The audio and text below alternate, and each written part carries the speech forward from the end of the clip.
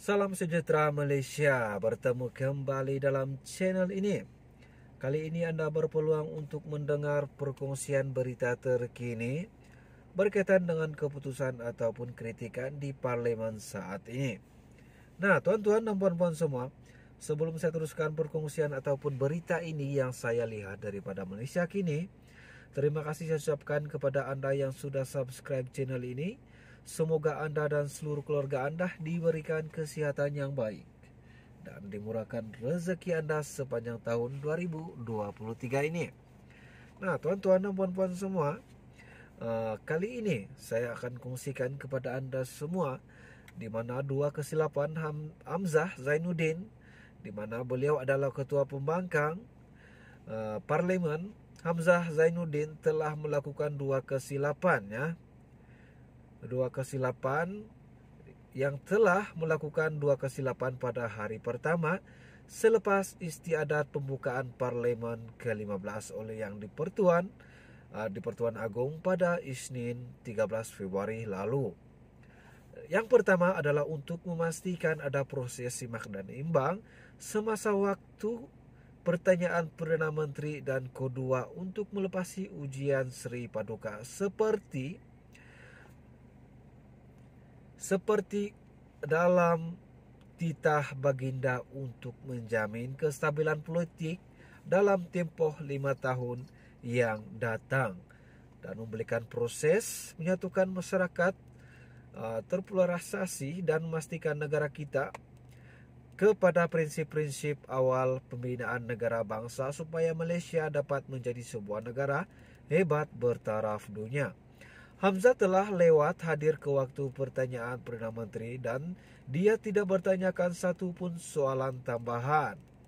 Tiga soalan telah diajukan kepada Perdana Menteri oleh Ahli Parlimen Taiping Wong Kawo mengenai hutang negara, Ahli Parlimen Kuala Kangsar, Iskandar di Zulkarnain bin Abdul Khalid mengenai bantuan Malaysia kepada Turki dan Syria untuk bencana gempa bumi yang melanda kedua-dua negara tersebut dan daripada ahli parlimen Tawawullah Syufui mengenai isu rasuah yang mana ketiga-tiganya merupakan persoalan yang penting mengenai masa depan negara ini.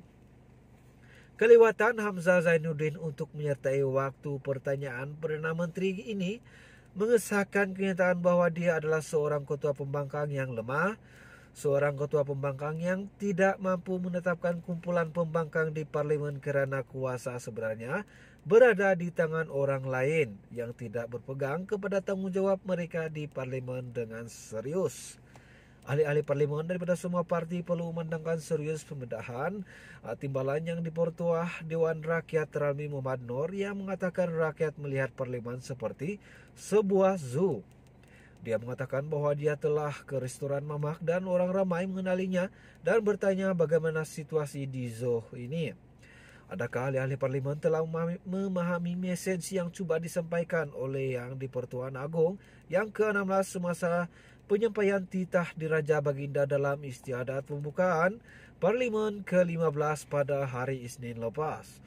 Untuk membuka hati untuk menerima keputusan pilihan raya umum ke-15, dengan membentuk kerajaan yang stabil dan menjamin kestabilan politik dan pertumbuhan ekonomi dan untuk menyelesaikan isu-isu yang dihadapi rakyat seperti kos sara hidup termasuk perkara-perkara seperti isu subsidi untuk rakyat dan usaha membentras rasuah. Adakah ahli-ahli parlimen daripada semua parti politik akan memberi respon terhadap seruan baginda untuk menghentikan kemulut politik yang membelenggu negara hampir empat tahun lamanya.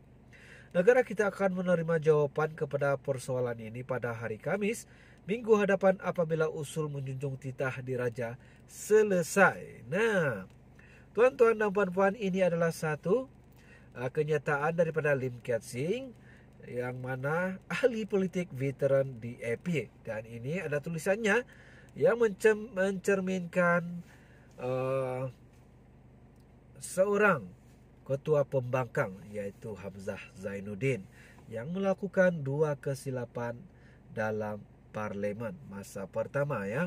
Jadi jangan lupa like, share dan komen video ini, subscribe channel ini. Uh, semoga anda dan seluruh keluarga anda diberikan kesehatan yang baik. Kita berjumpa lagi.